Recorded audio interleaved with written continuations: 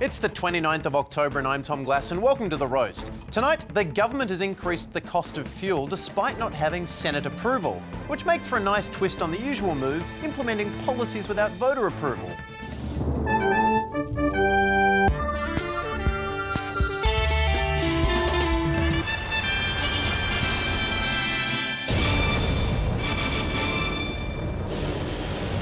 And while ignoring the Senate might not seem like the best idea, when you remember who's in the Senate, you realise it's a bloody fantastic idea.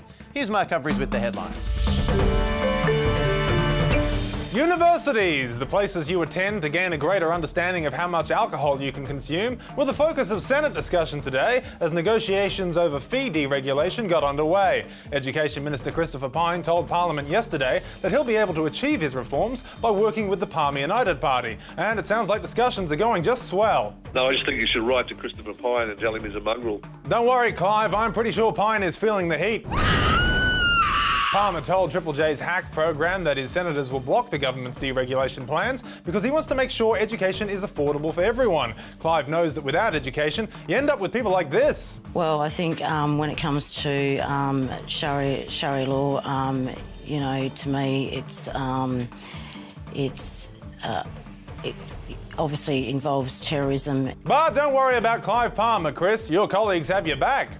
The government's own senators have called on Education Minister Christopher Pyne to rethink his plan to charge university students a real interest rate on their HECS loans. This may shock you, but I get the impression not a lot of people like Christopher Pyne. And worse yet, someone else is opposing the changes. Opposition leader Bill Shorten, seen here waiting patiently for a university lecture that will never begin, released a video today declaring his opposition to the plans.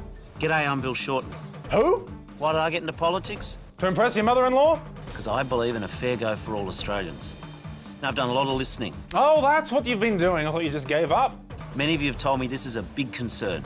So Labor will fight to stop Mr Abbott's $100,000 degrees. It's the only fair thing to do. See how it will affect you at nodebtsentence.org. NoDebtSentence.org. By far the worst thing about being in opposition, losing those precious .gov URLs. Prime Minister Tony Abbott addressed business leaders in Sydney last night, because sometimes you just need to be among friends. He used the opportunity to argue for urgent reform of the tax system. No reasonable person thinks that our current tax system is the best we can do. Hmm, sounds like someone just got a shitty tax return. And to fix the tax system, Mr Abbott called on the opposition to join his favourite team. I am inviting the Labor Party, the state governments, to join Team Australia. So, Team Australia is now not just playing the national security game, they're also playing the economic reform game. Team Australia is the Ellyse Perry of Australian politics. But unlike Ellyse Perry, no one respects Team Australia. Not to be outdone, Labor Senator Stephen Conroy is starting his own team. I'm a member of Team Fairness. Thanks, Dork. And finally, Marvel Studios has announced release dates for 11 new films. In other words, Marvel has just announced 11 new Stan Lee cameos. For the roast, I'm Mark Humphries. Thank you, Mark. Well, everyone loves complaining about the cost of petrol, almost as much as they love complaining about the bizarre selection of DVDs available at petrol stations. I mean, who the hell stops off for a full tank and a copy of Triple X State of the Union? And it's just as well we like to bitch about petrol because in two weeks' time, we'll all be paying more for it. That's because Finance Minister Matthias Cormann, seen here sounding out his words, has found a way to increase fuel tax without having to deal with that pesky parliament. The federal government doesn't have the numbers to pass an increase in the fuel excise, so it's using special powers to effectively bypass the parliament. Oh, good, because we've got to keep that pesky parliament from getting its mitts on our laws. This is not an effort to get uh, around the Senate. Oh, yes, it is. Mm, well, they both make good points. So, what, governments can just do whatever they like through regulation now?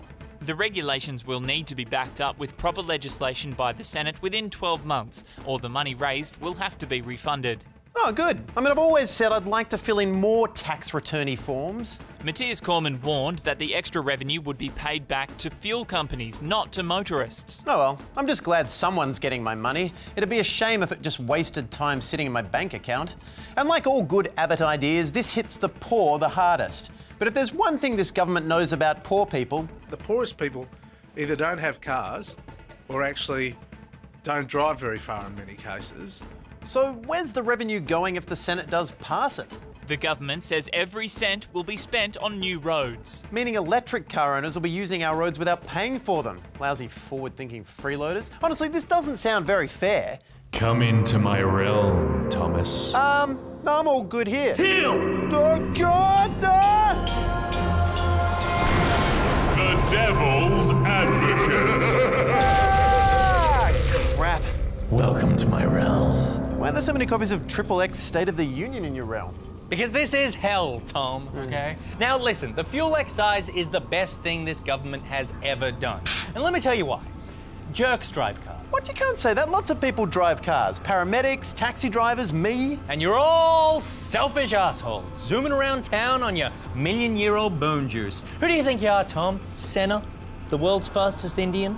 Driving Miss Daisy? You're rapidly running out of this petrol stuff, Tom. You should be paying a premium price, if only to get you pathetic mortals onto something a little more environmentally friendly. Oh, oh, wait. Do you hear that, Tom? That's the sound of a budget emergency. That sounds like crunching. Oh no, that's the DVDs. Oh, sorry. Hey, wait, no, no, that's worth four dollars fifty to servo. You're saying that the government might cut something more important if this doesn't pass? Silence! And yes, also this tax will help your environment. Reintroducing it, they argue, would be good for the federal government's finances and for the environment.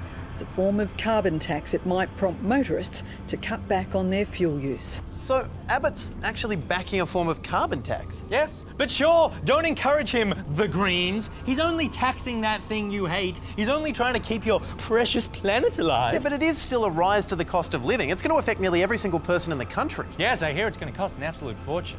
The government says it'll cost the average family 40 cents a week. 40 cents a week is a small price to pay to help the planet and not have to drive on dirt. And even if it's 10 times that much, it's still less than you save with those shopper dockets that you keep on your fridge and forget to use. Now leave my realm. And take a copy of the film! Ah! You know what? Sexy Halloween costume Nich did have some salient points. I think I need to rethink some things. We'll, uh, we'll be right back.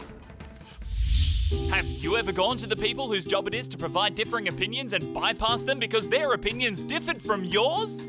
How did you do that? Did you use a cheat code? Was it up, up, down, left, triangle, square, X? Or did you just say, yous guys, I'm outie? We'd love to hear about it. At the Roast TV or hashtag Roast TV. So, how do the other parties feel about the government bypassing the Senate? Well, it's not as simple as you might think. You see, Labor and the Greens are opposing the tax increase on fuel, and the Abbott government is supporting it. And before you say it's a world gone topsy turvy, let Alex Lee say it for you because she worked all day on this.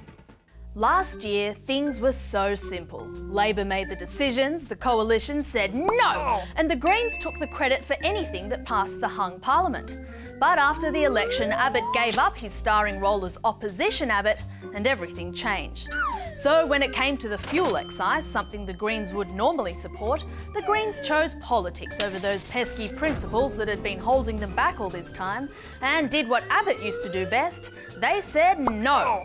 So now the coalition have found themselves supporting a tax that helps the environment, while the Greens have deforested their own conscience and said they'll block a tax increase on fossil fuels. But maybe it's a smart move. Trees don't vote for the Greens, and now no one will. Thank you, Alex. Honestly, more twists and turns than a game of Twister between Christopher Nolan and M. Night Shyamalan. So it seems like a lot of fuss over 40 cents a week, but then again, what do I know? I mean, how far can you get on 40 cents worth of petrol? Go. You sure? Yeah. Hit it.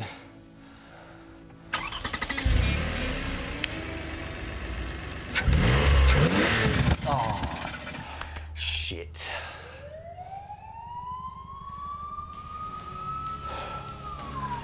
Do you reckon one of those kind policemen will give us a push over the cliff? Oh, shut up. And if people just paid the damn fuel tax, there'd be a brand new bridge over that damn canyon. Still, I suppose trying to drive off a cliff with just 40 cents of fuel in the tank was always going to be a high risk move. But then again, the government can relate to that. They've only got 12 months to get the fuel excise increase through the Senate, or they have to pay all that tax revenue back. Not to us, though, to the people who really need it oil companies. Roll the damning evidence. Who the hell am I? You're the new Triple X. No, that's the wrong tape, not this. Ugh. you guys know that oil companies are evil. You don't need to, s- you know, good night.